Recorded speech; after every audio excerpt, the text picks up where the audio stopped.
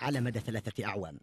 لم تتوقف العمليات العسكرية في مناطق مختلفة من اليمن لا سيما جبهات الحرب في محافظة الجوف والتي لا تزال تشهد معارك مستمرة بين الجيش الوطني من جهة وميليشيات الحوثي التي انقلبت على الدولة وابتلعت مؤسساتها من جهة أخرى. وبين هذا وذاك كان التحالف العربي الداعم للشرعية حاضرا بمقاتلاته الجوية ودعمه لتحركات الجيش الوطني في معركة استعادة الدولة. إنا لن نبرح هذا المواقع وهذا الأرض حتى نحرر كل شبر من هذا المناطق اليمنية. وإن شاء الله سوف تحرر في أقرب وقت ممكن.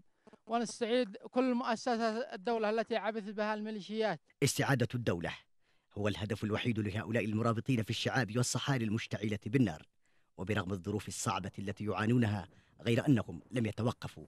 وبإسناد مقاتلات التحالف العربي شاءت إرادة الأبطال أن تتحرر هذه المسافات الصحراوية الشاسعة بل وأكثر من 90% من هذه المحافظة صارت تحت سيطرة الجيش الوطني وفق تقديرات المنطقة العسكرية السادسة التي لا يزال أفرادها يحققون الانتصارات وآخرها سيطرتهم على معسكر طيبة الاسم بمديرية برط العنان المحاذية لمعقل البليشيا في صعدة والذي كانت تتخذ منه الميليشيا معسكرا تدريبيا ومركز إمداد لعدد من جبهاتها في محافظتي صعدة والجوف. طيبة الاسم الاستراتيجي هذا المعسكر التاريخي الذي له تاريخ طويل في عهد الجيش اليمني وبتحريره سيتم قطع إمداد الميليشيات في وادي الظهيرة ووادي القعيف وكما أن هذا المعسكر له أهمية استراتيجية حيث أنه يشرف على الخط الدولي. تحركات عسكرية على الأرض تشهدها جبهات محافظة الجوف والمنطقة العسكرية السادسة عموما.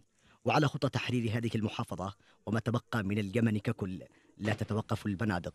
ومعها مناشدات الأبطال بمزيد من الدعم العسكري الذي يتعين على التحالف العربي تقديمه لاستكمال عملية التحرير واستعادة الدولة. وننتظر أيضا من التحالف مزيد من الدعم لكي نواصل تحرير ما تبقى من محافظة الجوف ومحافظة الجمهورية إن شاء الله. آمال كبيرة في تحرير البلاد من الميليشيا وعودة الدولة. وحتى تستعيد الحياة إيقاعها من جديد في هذه الأراضي الشاسعة. أقسم هؤلاء الجنود المرابطون في جبهات الحرب ألا يعودوا دون حلم الدولة ومشروع الوطن الكبير الذي يكبر في قلوب القابضين على الزناد ويصغر في صدور الجبناء المتآمرين على اليمن أرضا وشعبا.